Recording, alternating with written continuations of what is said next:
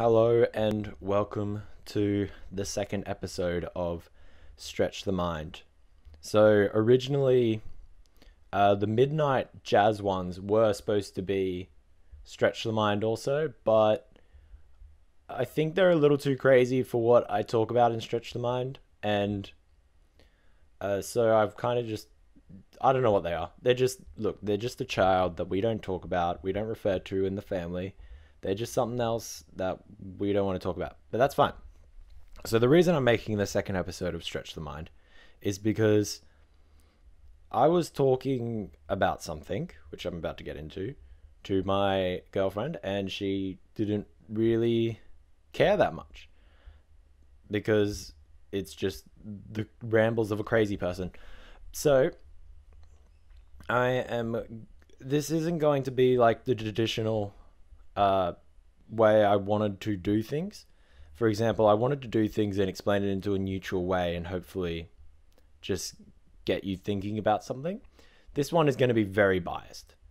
Very biased indeed, but you know, we'll figure it out.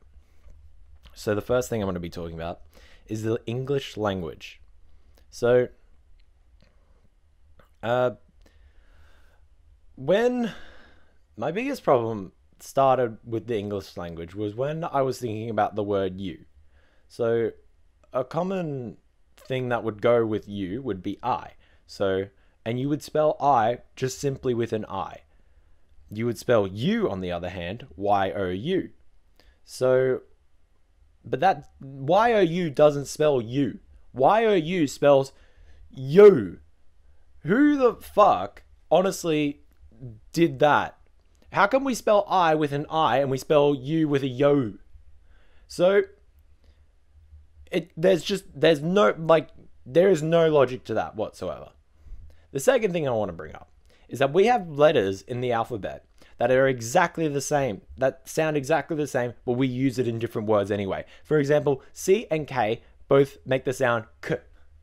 Why do we do that? Why, like, if we have these two letters with two different completely symbols, but they sound exactly the same, and then we've got there, and there is spelled T H E R E, and we pronounce it there because the E goes over the R and makes that the first E a longer sound. Why couldn't we just use one of the fucking C or the K symbols to fucking sort that shit out there? Like, I can feel it. I can feel the rage. Anyway, it's fine.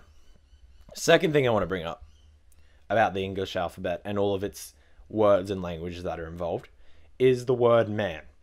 Now, this is a bit of a topical one because I might, stre- might stretch into being sexist or not, but we will find out. So, we have man, woman, and human. Why don't we just switch man? Because we already pronounce like mankind. Like that is known as being like all the people is just known as mankind. So why don't we switch just human and man? Wouldn't that make so much sense? Because if we say female, then it'd be female, and then we could say Hugh man, which would mean man, which is what it is now, and then man could just mean everyone. So, for example, female male, and male. And male means the all the people, like all humankind. Shouldn't say human. Anyway, that is my rant done with the English alphabet. I just need to get that out, eh? Now, I'm going to be talking about something that could possibly fuck up my grades, but it's fine because I'm going to be talking about university. Now, I don't know if people know me, but I am not a fan of the university I attend. I my review on what's happening in this university it might not happen to everyone.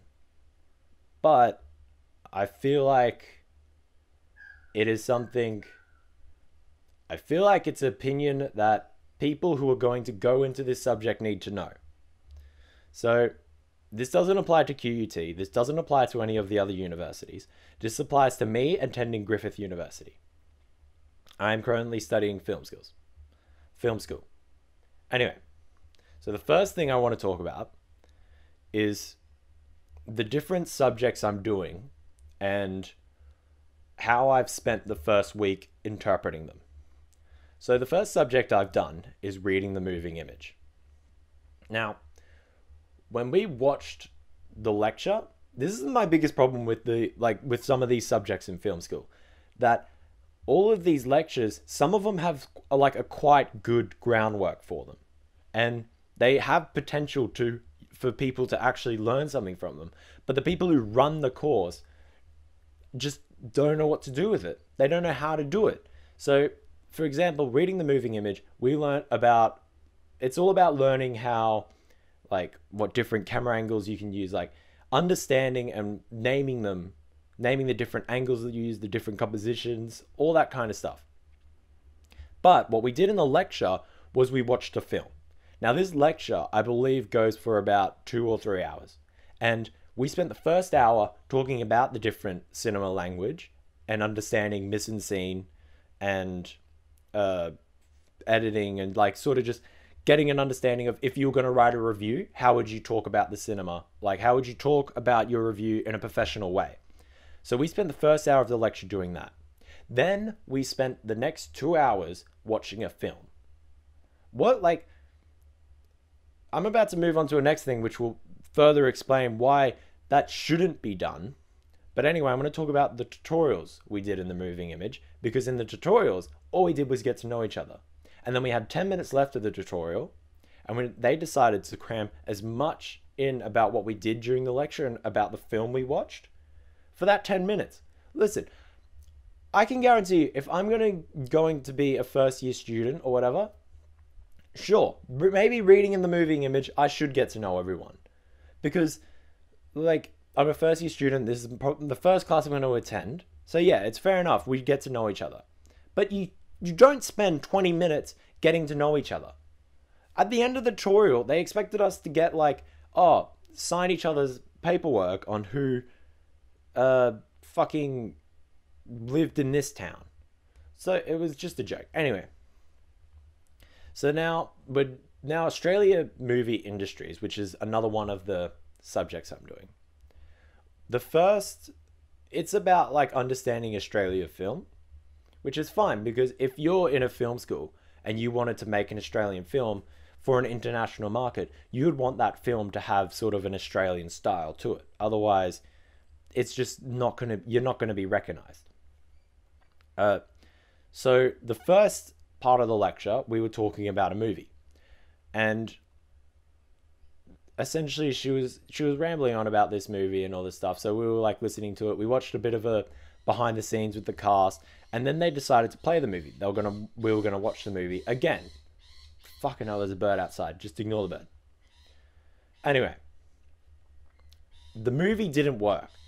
So no matter how hard they tried, the movie just couldn't work. So what did they do? They said we can leave early. And that movie was supposed to take up two hours of the lecture. So we got a two hour early mark on a lecture. I'm not complaining that it's a bad thing that we got out early. I'm just saying, why make your lectures two hours long if you don't have the substance to keep talking about the subject you're doing for the time you've set it? Just do it for an hour. Tell us to watch the movie. Like, make it optional if we want to watch the movie or not, because it should be left to the students to how much they give a shit about this particular subject. Anyway, one of the last uh, so fucking hell, that bird is going fucking nuts outside. Anyway, the last subject was documentary. And the it went for roughly the same time as reading the moving image did, and so did Australian Industries. But the the documentary teacher could actually talk throughout the three hours he had designated for him. He could actually keep talking about what was going on and what was he and what he was doing. It actually had some kind of material for it. We were understanding what he was talking about. He was giving us examples of previous year's work, so we actually knew what we were going to be in for. Once the lecture finished, we went to the tutorial. And the tutorial was just pretty much asks talking about one of our ideas and then seeing if that I- idea was okay. But the problem with that was was that during that tutorial, you need to get in groups for documentary. And like you need to get in a group and then say your idea and then see if it's okay. But whatever, it's fine. I I still enjoyed the lecture. Then we went to the workshop, and the workshop was a little scary because we actually got to view students' work, and then the teacher asked us whether we should pass them or not. I don't know, it's just a bit weird to view other people's work and then criticize like it's kind of like looking at it's kind of like giving the baby a ball and then judging it because it can't throw the ball very far. Of course, it's not going to throw the ball very far because it's a baby, it's still learning. So, why are you sitting us down and telling us, like, should this person pass or not?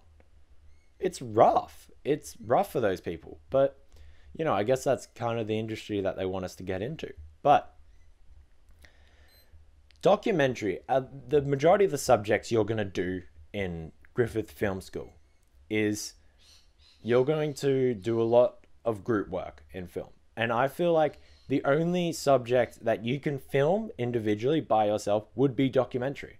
So it's kind of strange that documentary isn't an individual filming work because most of the time when you go out there and you film, you will be doing documentaries by yourself. A lot of people have. Like the guy for Dear Zachary, he had a lot of help, but the he he ventured out by himself a lot and filmed a lot of the stuff. Uh, another guy went over to Cairo during the riots and he did that entire documentary just by his handy cam and what he could sound record. But instead, for the documentary, we have to we have a guy for sound recording, a guy for like editing, a guy for sound recording, a guy for producing. You know, there's just a lot of stuff. I'm probably going to cut that part out because I actually don't know if any of those facts are true. But that's fine. Anyway, that's my experience with Griffith, and that's my experience with the English language. It's good to get it off my chest because I don't know why. It was just secretly annoying me this whole time, but it's it's OG now. So I hope you guys will think about it. I hope you guys will agree with me. And if not, then tell me and I will fucking snap my fingers twice and see if I can back argue. Anyway, thanks for watching.